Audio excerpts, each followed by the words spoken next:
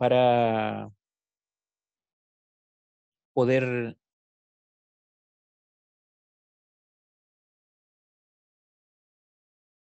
comenzar la explicación de hoy. Recuerden que hoy vamos a iniciar la nueva unidad, ¿ya? La unidad de álgebra. Em, y en base a esa unidad vamos a ir avanzando, digamos, con contenidos nuevos. Vamos a dejar atrás los logaritmos y vamos a avanzar con estos nuevos contenidos.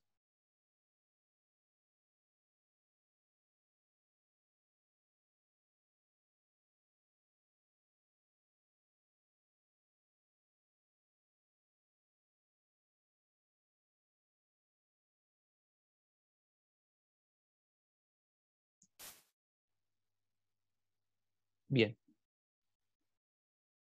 Entonces vamos a partir, ¿no es cierto?, esta nueva unidad de álgebra. Vamos a dejar atrás los números como, digamos, como concepto de unidad, no que vamos a hablar de otra cosa que siempre vamos a estar hablando de números, estamos hablando de matemática, ¿no es cierto? Eh, pero vamos a comenzar nuestra unidad de álgebra.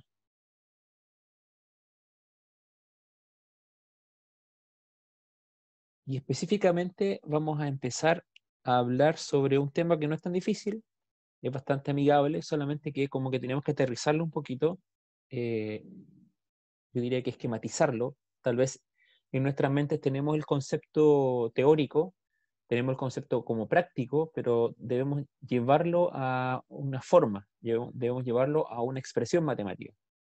Y ese contenido que va a ser nuestro primer capítulo de esta unidad, es el cambio porcentual.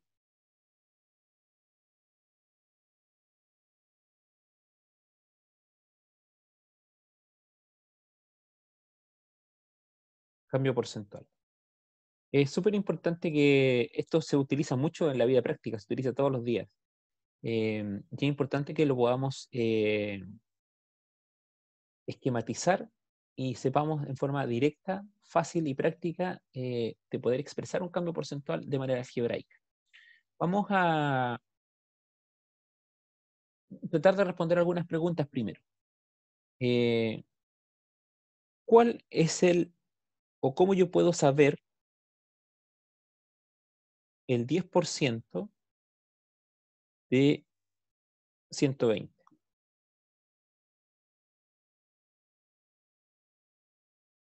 Me pueden dar la respuesta, ¿no es cierto?, en, a través del chat, o, me pueden decir cómo, cómo, calcularlo, o me pueden decir cuál es el, 10%. Creo que sé cómo calcularlo. Ya, a ver, Diego. Eh, primero se eh, multiplica 10 por 120 y eso después se divide por 100. Ya, muy bien. Eh, Diego me está diciendo que yo tengo que multiplicar 120 por 10 y eso dividirlo por 100. Veamos cuánto nos da. A ver. Tenemos 120 por 10, ¿no es cierto? Nos da 1200 y dividido por 100 nos da 12. Entonces, ¿Es 12 el 10% de 120?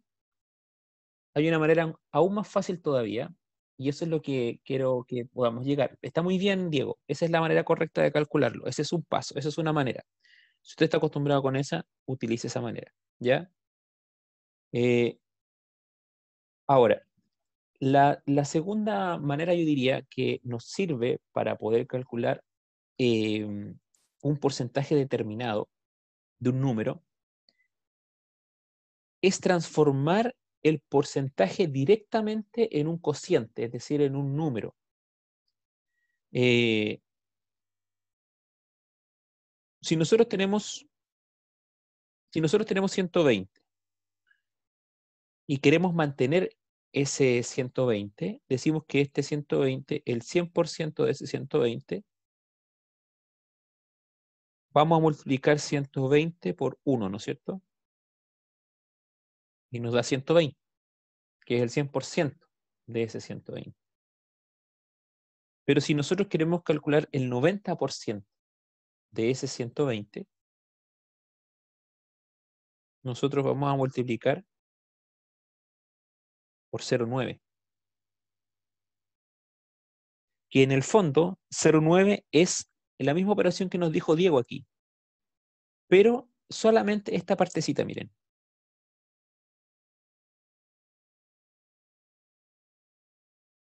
Si yo quiero saber por qué multiplicar el 120 para sacarle el 10%, en el fondo lo que tengo que hacer es dividir 10 dividido por 100. Y eso me da 0,1. Si yo divido 90%, que es lo que yo quiero calcular, por 100, me da 0,9. Entonces, yo hago esa división antes, en el fondo, y al hacer esa división antes, eh, ya tengo el cociente, el número que representa a ese porcentaje. En el primer caso, ¿no es cierto? El 0,1 representa el 10% y en el segundo caso, el 0,9 representa al 90%. Entonces, si yo multiplico 120 por 0,9, me da 108.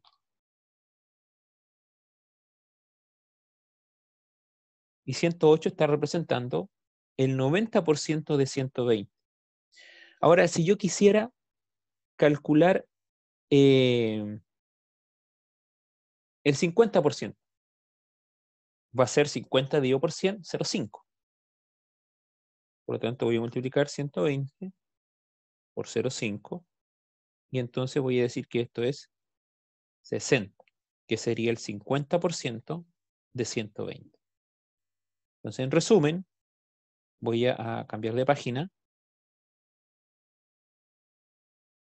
Mi 100% yo lo voy a, expresar como 1. El 90% lo voy a expresar como 0,9. El 40% lo voy a expresar como 0,4. Y si quiero expresar el 120%, como 100 es 1, pongo el 1 y coma, le agrego el porcentaje que me falta, que sería un 20%, que sería 0,2. ¿No es cierto? Si yo quiero agregar el 170%, sería 1, porque es el 100%, y el 70, 0,7. Sería 1,7 y así sucesivamente. No sé si hay algún, alguna pregunta con respecto a esto. Estoy, estoy eh, acortando o resumiendo eh, la fórmula que nos dio Diego, que era la correcta, ¿cierto? Que nos dio en la página anterior. Sin embargo, estoy tratando de expresar un número porque eh, en, en, términos de álgebra es mejor expresarlo como cociente, es decir, como número, no como porcentaje. Entonces, ¿y qué tengo que hacer yo para cambiar un porcentaje a número? Tengo que dividirlo por 100. Si digo 120% eh, en número, ¿cuánto es? Es 1,2 porque 120 dividido por 100 es 1,2. Quiero representar el 40%, divido 40%, ¿no es cierto?, eh, en 100 y me da 0,4. Entonces estoy expresando esos porcentajes en cocientes o números. Eh, y esos números son los que me van a ayudar a expresar una determinada, un determinado cambio porcentual. Solamente me estoy centrando en, en esta primera parte, en la primera herramienta que necesitamos, que consiste justamente en, em, digamos, en expresar correctamente un porcentaje para poder integrarlo, este, este porcentaje, este número, integrarlo a una ecuación matemática. No sé si hay alguna duda con respecto a esto, alguna pregunta.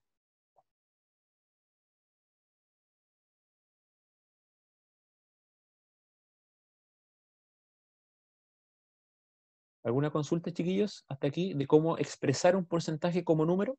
Eso es lo que estamos viendo hasta ahora.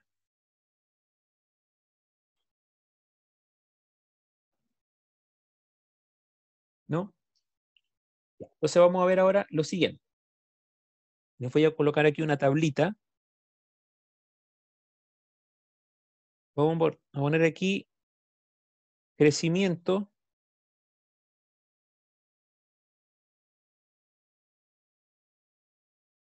de un árbol.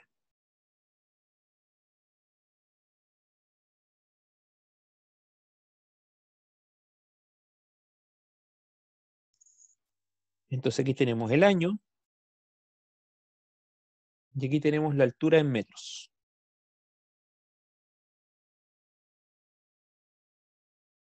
del árbol.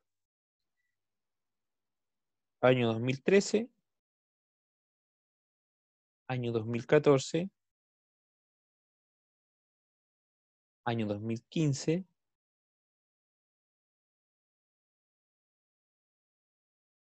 2016 y 2017.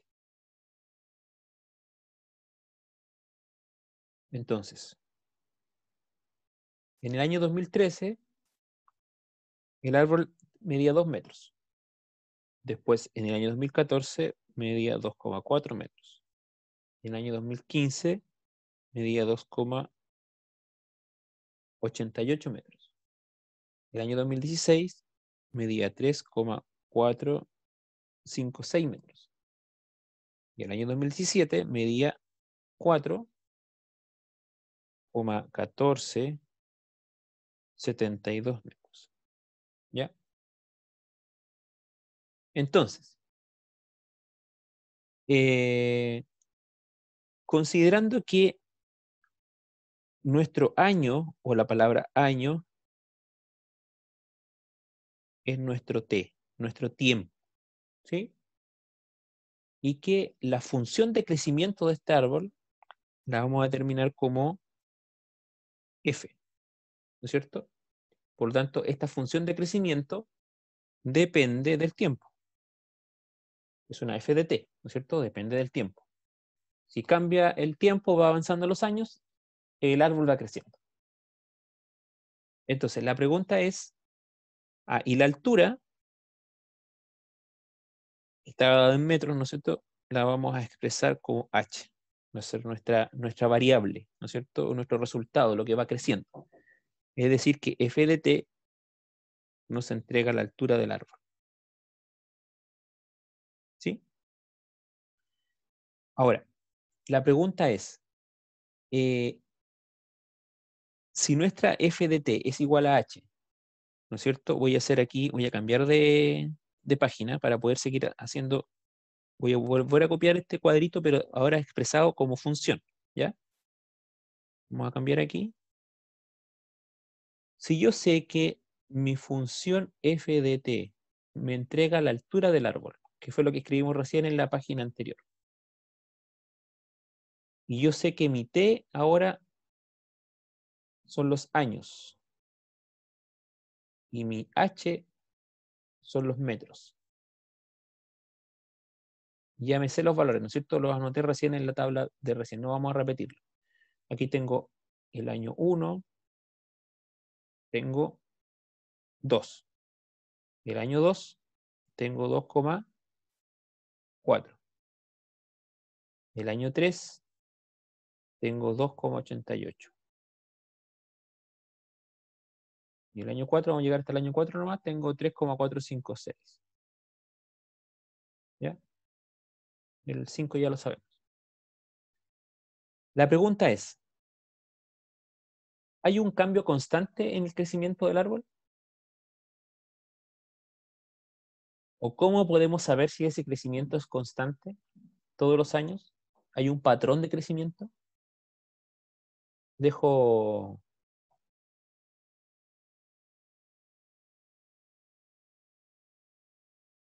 Ya, respondo la pregunta de Fabián que me había hecho aquí, ¿cómo sería el mil por ciento?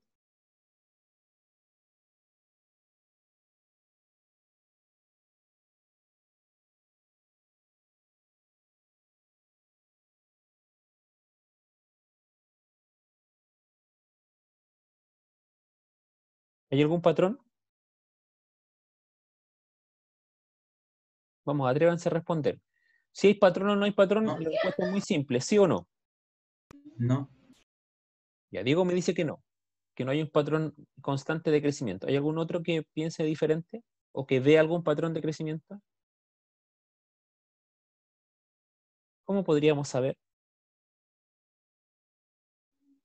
Miren, vamos a hacer lo siguiente. Voy a escribir esto en otro color, ¿ya? Antes de pasar, digamos, a expresar si hubiera un patrón la fórmula. Si usted parte con dos metros del árbol, usted sabe que ese era el 100% del tamaño del árbol, ¿no es cierto? Entonces, ahora quiero ver si el 2,4%, perdón, el 2.4 metros,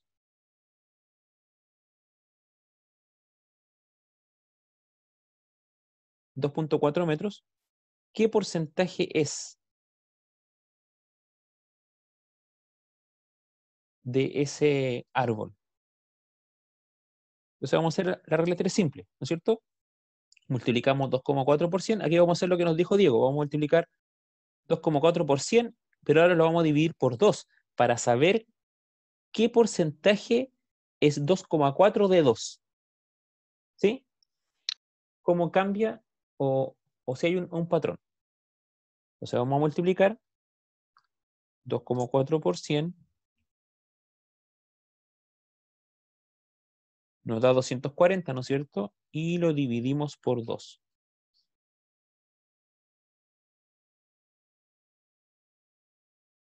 Multiplicamos 2,4 por 100. Ven aquí. 2x. Esto nos da 240. Y este 2x lo pasamos dividiendo. Entonces nos queda 240 dividido por 2 igual a x. Y eso sería 120. Es decir, si 2 era el 100%, 2,4 es el 120%. Eso quiere decir que este, este crecimiento correspondió al 20% de lo que tenía, ¿no es cierto? Tenía el 100% que era 2, al subir a 2,4 subió un 20%.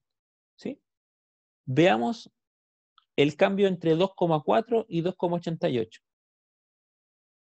Ahora yo sé que 2,4 es el 100%. El siguiente periodo, ¿no es cierto? Veamos 2,88. ¿Qué porcentaje es? Entonces multiplicamos 2,88 por 100 igual a 2,4x. Entonces, 2,88 por 100 nos da 288. Igual a 2,4x. Y ese 2,4 va a pasar dividiendo, ¿no es cierto?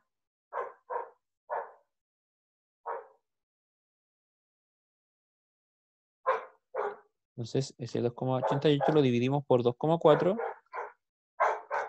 y nos da exactamente 120, nuevamente. Es decir que, nuevamente, ¿no es cierto? Seguimos, eh, seguimos, ¿no es cierto? Eh, aumentando un 20%. Y vamos a ver el último, de 2,88 a 3,456. 2,88 es mi 100%. 3,456. ¿Qué porcentaje es? ¿Sí? Entonces multiplicamos nuevamente 3,456 por 100. Y el otro lado multiplicamos 2,88 por X. 3,456 nos da eh, por 100 nos da 345,6.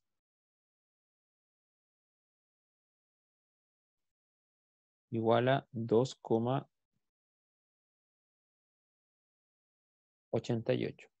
Y eso lo pasamos dividiendo. Perdón, aquí me equivoqué. Ahí sí.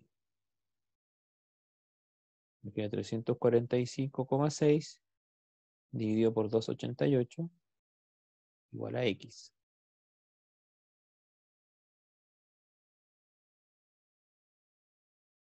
Y nuevamente nos da 120. Es decir, que hemos comprobado, ¿no es cierto?, que el crecimiento de esta tabla que estábamos mirando nosotros, eh, siempre el árbol va creciendo todos los años un 20%. Ese es nuestro crecimiento porcentual.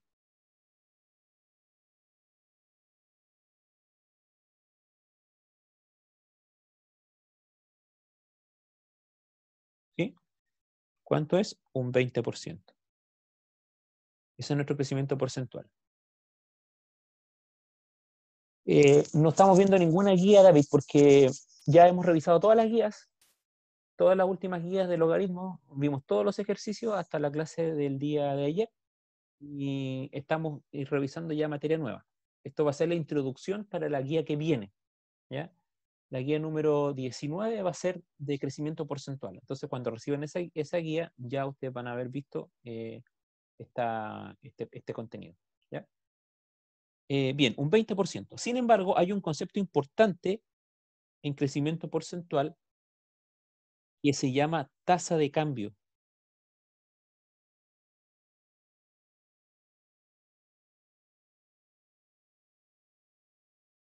O también índice de variación, es lo mismo.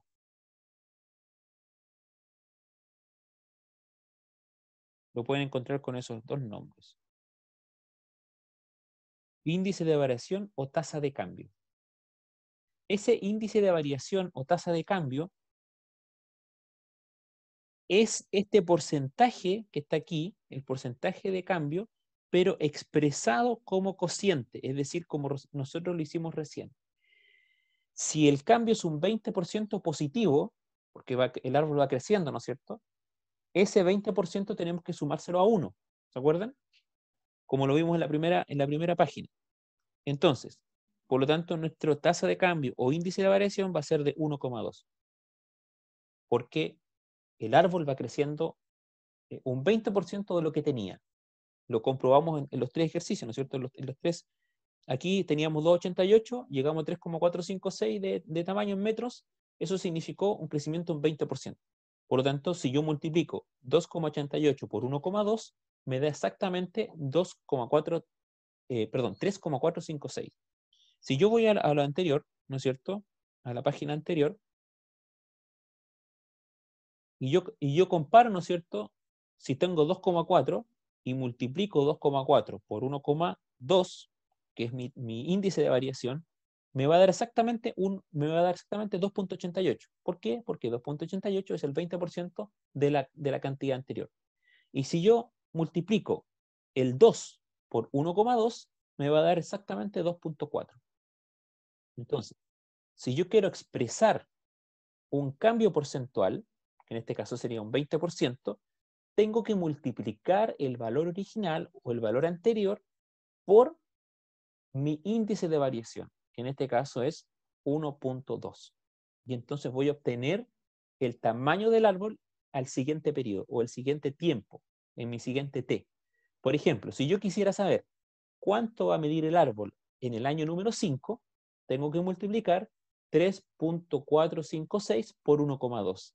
Y automáticamente voy a saber cuál es el tamaño del árbol, ¿no es cierto?, en el año número 5. Entonces vamos, a anotar aquí 3.456 por 1,2. Ahí tengo la calculadora, la operación, ¿no es cierto? 3,456, es decir, el tamaño del árbol en, el, en ese momento y lo multiplico por 1,2. Multiplico igual y me da 4.1472. Esa es la cantidad de metros, ¿no es cierto? 4.1472. Y si nosotros volvemos eh,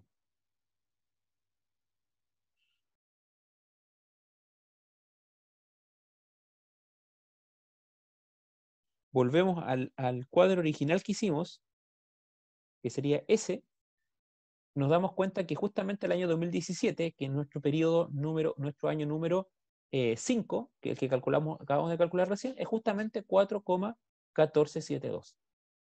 Y si quisiéramos saber cuánto va a medir ese árbol en el año, o cuánto está midiendo, o cuánto midió el año 2018, multiplicamos 4.1472 por 1.2 por nuestro índice de variación. Y nuevamente vamos a determinar, ¿no es cierto?, cuánto es el tamaño de ese árbol. Entonces, en resumen, en resumen, ¿no es cierto?, tenemos nuestro crecimiento porcentual de este árbol que fue un 20%, queremos expresarlo, ¿no es cierto?, queremos calcularlo, lo vamos a multiplicar el crecimiento original por ese índice de variación que es 1.2. Ahora, si queremos expresar ese, esa ecuación que representa el crecimiento del árbol, tenemos que anotar lo siguiente. Y aquí vamos a, dar ya la nomenclatura final. Vamos a decir que nuestro, nuestra función del tiempo, que en este caso era la altura del árbol, va a ser igual a qué? Nuestro ft va a ser igual a nuestro índice de variación multiplicado por nuestro ft, es decir, nuestro tamaño inicial, ¿no es cierto?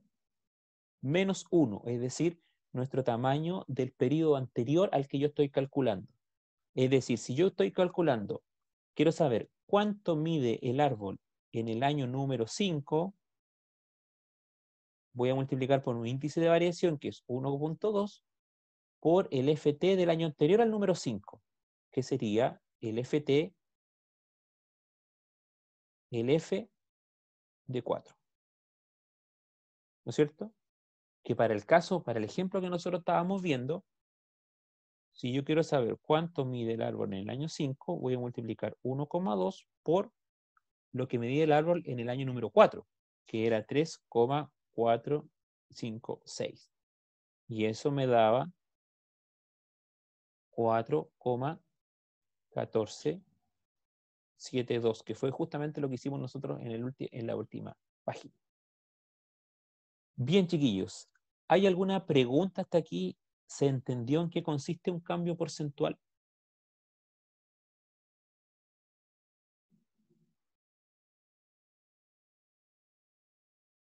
No pretendo que todavía ustedes sean capaces de hacerlo. Solamente estoy preguntando si está claro el concepto. Vamos a, vamos a hacer otro ejercicio ahora para... Eh, eh, a ver, una cosa es determinar el porcentaje. Eh, Fabi me pregunta si puedo calcularlo de las dos formas.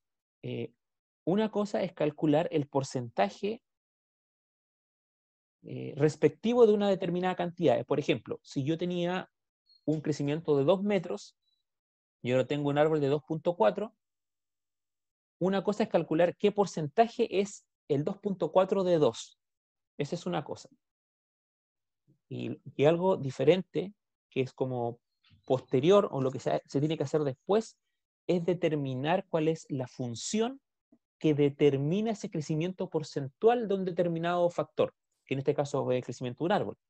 Eh, podemos hacer otro ejemplo más, pero lo que estamos viendo, ¿no es cierto?, es una cosa es calcular el porcentaje de un número y otra cosa es determinar la ecuación que determina el desarrollo de un crecimiento o de un decrecimiento de una determinada cantidad, que puede ser, ¿no es cierto?, en este caso un crecimiento de un árbol, puede ser el crecimiento de una persona, puede ser eh, el, precio de, una entrada de, algún, digamos, algún espectáculo, eh, puede ser cuánto ha ido aumentando la cuenta de la luz, etc. ¿ya? Pero entonces yo puedo decir, a ver, quiero, tengo las boletas, ¿no es cierto? Tengo las boletas de luz de los últimos 12 meses. Y entonces yo me doy cuenta y voy comparando el precio teniendo el mismo consumo, ¿no es cierto? Asumiendo que voy a tener el mismo consumo. Voy, voy mirando el valor y digo, a ver, ¿qué porcentaje es el precio de la boleta número 2 de la boleta número 1? O de la boleta número 3 de la boleta número 2. Esa es una cosa. Y entonces, después de eso, yo tengo que determinar cuál es la ecuación que me me muestra a mí cuánto va creciendo porcentualmente esa boleta. Entonces, si yo quiero saber cuánto me va a costar la luz en, octubre, entonces digo, ah, a ver, el T, ¿cuál es mi T octubre? Es el, mes número 10. Perfecto. Entonces yo voy a saber ahí, voy a meter ese valor en la fórmula y voy a saber cuánto me va a salir en la cuenta de la luz en octubre, asumiendo que voy a tener el mismo consumo. ¿ya? Entonces son, son dos pasos. Ahora, eh, Fabián también me había preguntado cómo yo podía expresar el 1000%. Miren, pensemos. Si yo tengo el 100% es 1, el 1000% es 10. ¿No es cierto? Si yo tengo el 200%,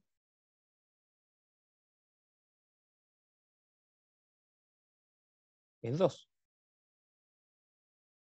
¿No es cierto? El 500% es 5. Y el 450% sería 4,5. ¿No es cierto? Esa es, la, esa es la progresión, digamos, o la manera de expresar porcentajes con números. ¿Ya? Ahora, vamos a ver otro ejemplo más. Vamos a cambiar de hoja aquí.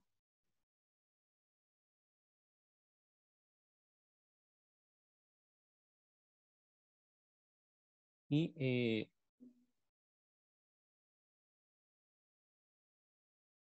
vamos a... Deme un, deme un minutito que mi perro está golpeando la puerta y lo voy a ir a abrir. ¿Ya? Esperen un poquito.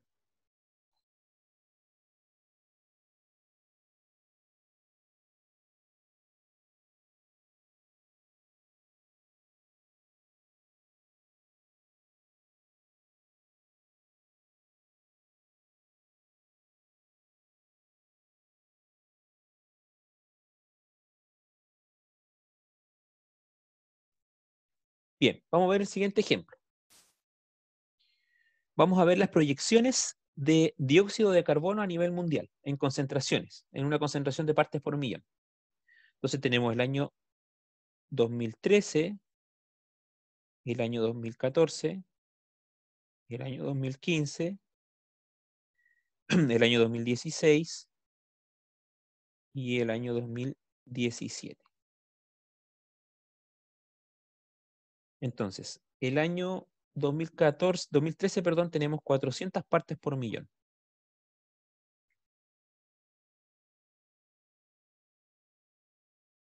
Después tenemos 402,4. Después tenemos 404,8.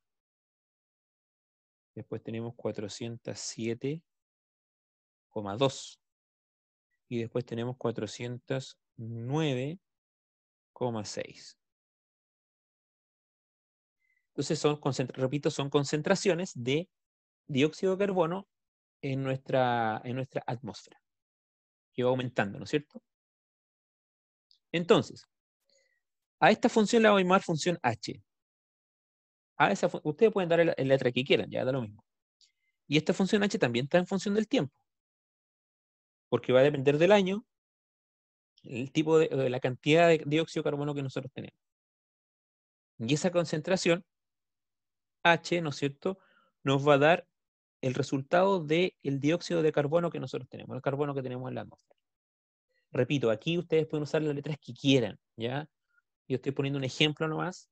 No tienen que estar preguntándose, bueno, ¿por qué la C y no la F? ¿O por qué la H y no la F? ¿Por qué la C y no la A? Da lo mismo. Lo importante es que ustedes entiendan que cuando nosotros estamos poniendo una función, estamos diciendo que hay un valor de algo, en este caso es la cantidad de carbono, de dióxido de carbono, que depende de otro valor, que depende de otra cantidad o depende de otro factor. Y ese factor del cual depende, en este caso, es el tiempo. Entonces, recuerden que la variable de la cual, eh, que depende de otra, ¿no es cierto? Esa variable va aquí. Esa es nuestra variable dependiente. Y la variable que, eh, de la cual depende esta, que es nuestra variable independiente, va aquí. Entonces nuestra variable independiente es el tiempo, en este caso. Y nuestra variable eh, dependiente es el dióxido de carbono. Porque dependiendo del el tiempo en el que estemos, el año en el que estemos, es la cantidad de dióxido de carbono que va a haber en la atmósfera. Ahora, esta, esta estructura es siempre la misma. Va a ser siempre la misma para todos los ejercicios, va a ser siempre la misma para este tipo de cambio porcentual. Porque el cambio porcentual va a ir cambiando, algo va a ir cambiando dependiendo del paso de otra. o de la transformación de otra. Entonces, pero la, gracia, digamos, de esto, o lo, digamos, lo que se va repitiendo es que ese cambio en el tiempo, o ese cambio de una variable dependiendo de otra, es siempre un cambio eh, repetitivo. Y ese cambio repetitivo es un porcentaje de la cantidad anterior.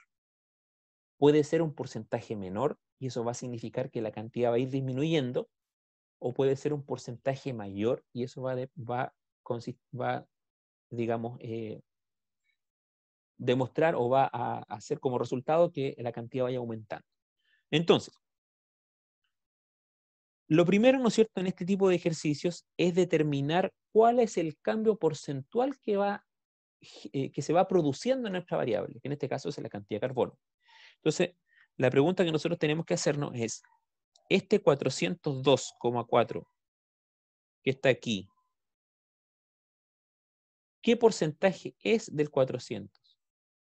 Y ese 404,8, ¿qué porcentaje es de ese? Entonces, ese es el primer paso que tenemos que hacer. Y ya vimos cómo hacerlo, ¿no es cierto? Dijimos, si 400 es el 100%, 402,4. ¿Qué porcentaje es? ¿No es cierto? Entonces vamos a multiplicar 402,4 por 100. Y 400 por X. Entonces vamos a multiplicar ahí 402,4 por 100. Eso nos da 40.240.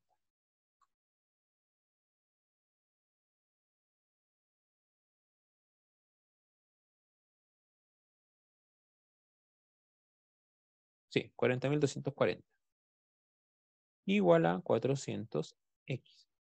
Entonces ahora paso este dividiendo. Me va a quedar 40.240 dividido por 400 igual a x. Y eso es igual a cuánto. Entonces dividimos por 400 y nos da 100.6. Eso quiere decir que 402 es el 100.6% de 400.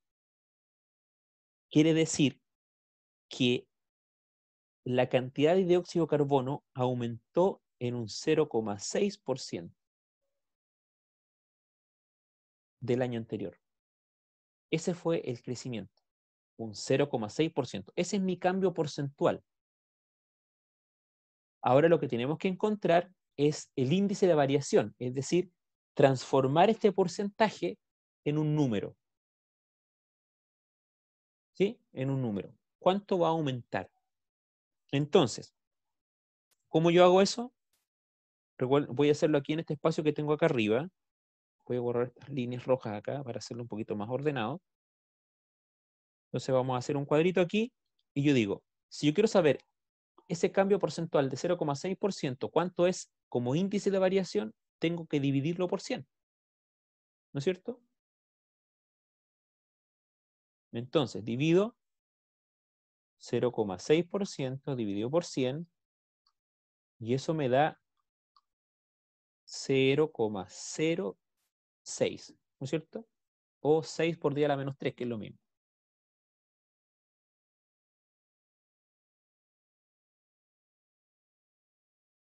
Me faltó un 0, me parece.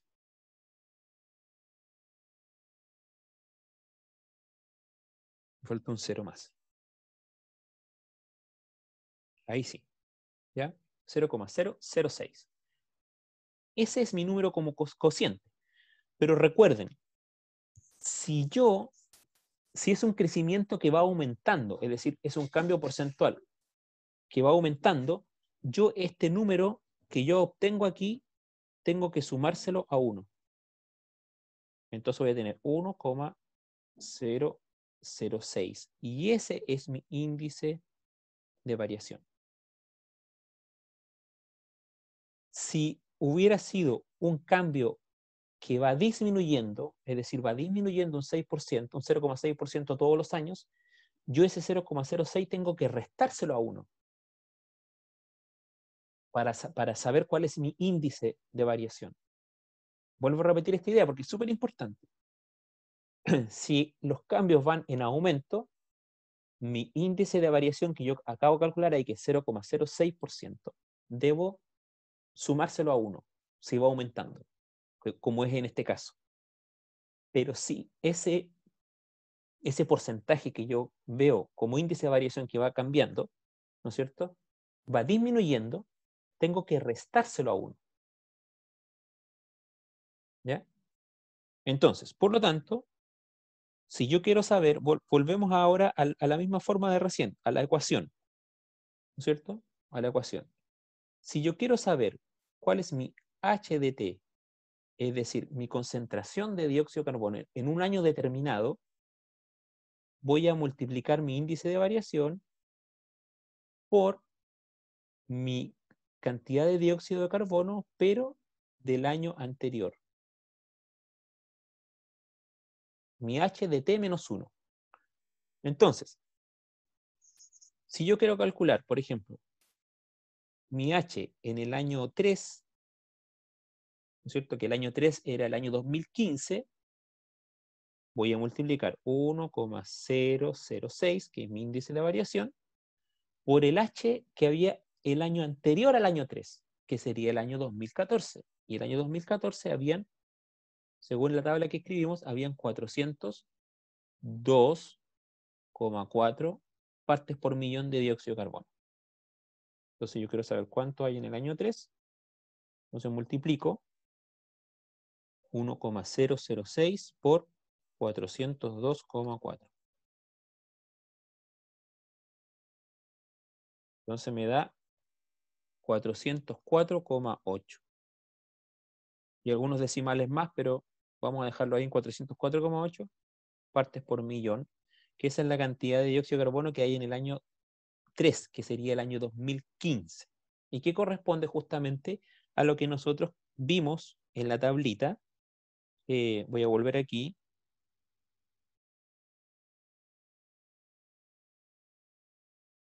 Que vimos en la tablita, vamos a volver aquí a la, a la página anterior donde, donde hicimos la tabla se dan cuenta, en el año 3, que sería el año 2015, justamente hay 404,8 partes por millón.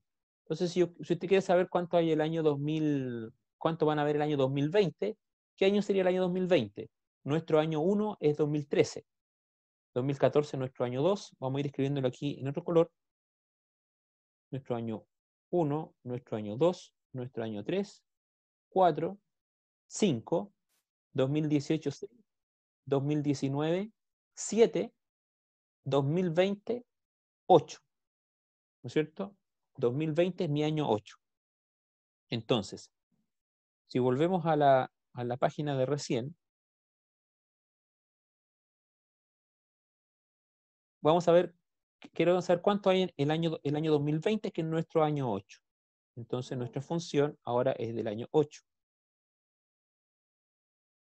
Ahora, ¿Podemos calcular directamente el año 8 tenemos que ir año a año? ¿Cuál es el problema de la fórmula? Si queremos saber cuánto hay en el año, el año 8, debemos saber cuánto hay en el año 7. Y nosotros solamente tenemos información hasta el año 2017, que es, el año 2017 es el año número 5. Vamos a anotar aquí eh, el valor el año número 5, que es el año 2017, hay 409,6. ¿No es cierto? Entonces, simplemente, si yo multiplico esto por 1,006, voy a saber cuánto hay el año 6, que sería el año 2018. Entonces, multiplicamos 409,6 por 1 por 1,006 me da 412,06. Eso ahí el año 2018. Y si vuelvo a multiplicar por 1,006, sé cuánto va a haber el año 7, que es el año 2019. Entonces, eso lo multiplico por 1,006 y me da 414,53.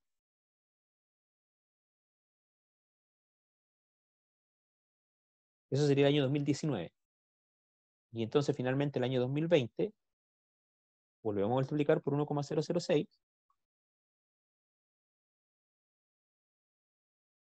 y nos da que el año 8, que es nuestro año 2020, habrían 417,02 partes por millón de dióxido de carbono. Eso es año 2020, que es nuestro año 8. Bien, chiquillos, no sé si hay alguna pregunta con respecto a cómo se expresan los crecimientos porcentuales. Vamos a, por supuesto, la próxima clase, el día lunes, vamos a dar una definición ya concreta, en la que también la van a tener, y vamos a ver varios ejercicios más y para ir aclarando dudas. ¿Ya? ¿Alguna pregunta? ¿Ninguna? Estamos entonces, chiquillos, nos estamos viendo en la clase de física el día jueves. ¿ya? Voy a dejar de compartir aquí. Eh, ahí Muy bien. Un abrazo, cuídense mucho y nos vemos el día jueves. ¿Ya? Chao. Chao. Chao, chao. Chao, profe. Chao.